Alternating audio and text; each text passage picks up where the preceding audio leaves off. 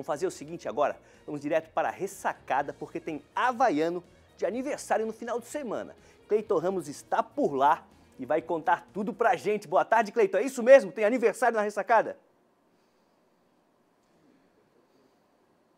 É verdade, Mancha, boa tarde para você. Tô com uma saudade dessa idade. Mentira, não faz tanto tempo assim, não tem tanta diferença também não.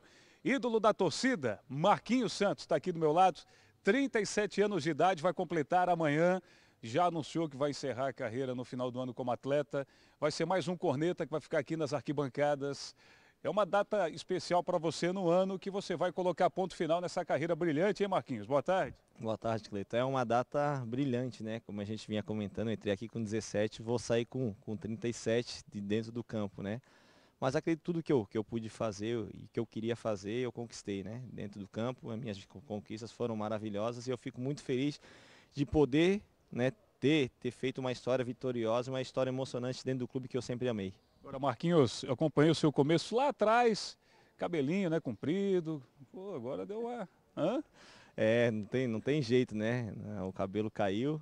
Mas, cara, meu carisma, a minha simpatia e, e, o meu caráter, ele não mudou, né? Então, fico bastante contente porque eu fui um vencedor, da onde é que eu saí, muitas pessoas não acreditavam no meu sucesso, mas eu nunca liguei porque as pessoas pensavam. Sim, fui atrás dos meus objetivos, dos meus sonhos e hoje é, sigo de exemplo para muitas pessoas do meu bairro, da minha cidade, do meu time. Então fico contente de poder é, ter marcado uma história, gravado uma história, como eu falei, dentro do, do Havaí Futebol Clube. O filho do seu Luiz. Eu tentei trazer o Mesquita, ele está na escolinha, né, o Mesquita que tem um papel importante na sua carreira, enfim.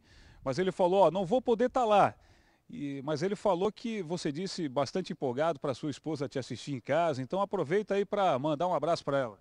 Um beijo também, né? Ah, pelo jeito que tá falando, ele deve estar tá atrás de mim, né? Tu, tu, sempre, tu sempre com essas surpresas. Olha aí quem tá aí, ó. Olha aí quem tá aí, ó. Olha só, a filha Heloísa, a esposa Jaqueline, um buquê lindo de flores, casal bacana.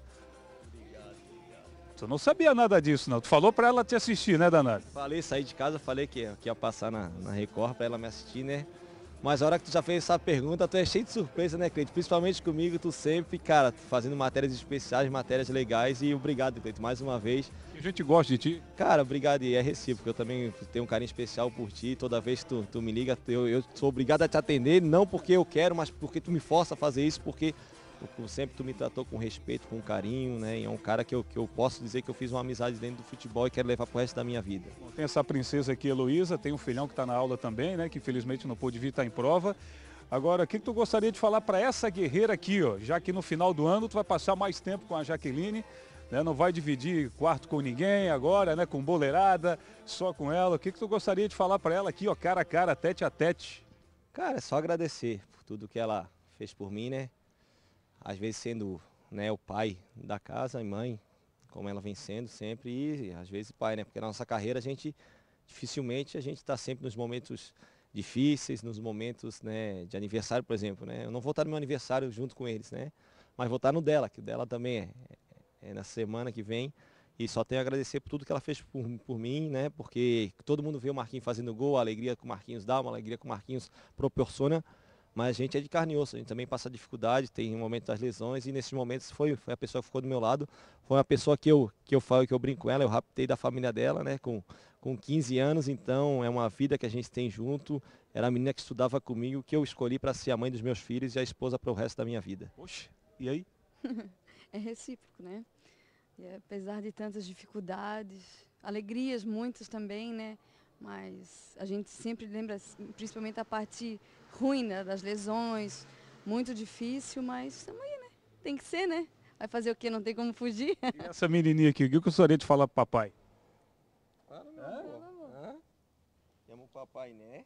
Sim. É, tá tímida. Com essa cena aqui, a gente encerra com essa família linda. É, não poderia ser diferente, né, Marquinhos? Porque a gente sabe que está chegando aí ponto final numa carreira, mas ser diferenciado merece, viu? Não, obrigado, Cleito. Obrigado, pessoal da Record, que sempre me abriu a casa, né? Para poder me expressar, para poder passar o meu lado, principalmente o meu lado humano, né? Porque muita gente me vê dentro de campo, às vezes algumas atitudes dentro de campo não condiz com o que eu sou na, na pessoa, né? Peço desculpas às pessoas que algumas vezes chateei e né, fiz algumas besteiras na, na, minha carreira, mas uma carreira de quase 700 jogos como profissional, se eu errei três ou quatro vezes, foram muito. Então isso aí, pelo total de jogos, pelo total de partidas, pelo total de decisões, foram muito poucas, mas mesmo assim eu peço desculpa, principalmente para as pessoas do, do nosso rival, né? Que apesar de ser rival, a gente não é inimigo, mas algumas vezes eu extrapolei e peço desculpas e que, que isso aí passe um pano em cima disso. Sei que algumas pessoas não vão esquecer, vão sempre olhar o Marquinhos com um pouco de ódio, mas, cara, se eu tenho alguma coisa a pedir, peço desculpas e eu sou essa pessoa assim, familiar, amigo dos meus amigos, tenho um, um carinho especial pelo pessoal do Bom Verde, Jardim Marcos Antônio, de Biguaçu, de Serraria, onde é que eu nasci, cresci e aprendi tudo, né? Colégio Tanamara, que foi o meu educador para a minha vida. Então, Cleito, obrigado e mais uma vez, parabéns por essa homenagem que, mais uma vez, tu me pegou de surpresa. Tu é o volante que eu nunca queria ter, ter, ter, que, ter que jogar contra. Valeu, com essa imagem a gente encerra. Amanhã, Mancha, o M10 será M3.7. Volto contigo, grande abraço.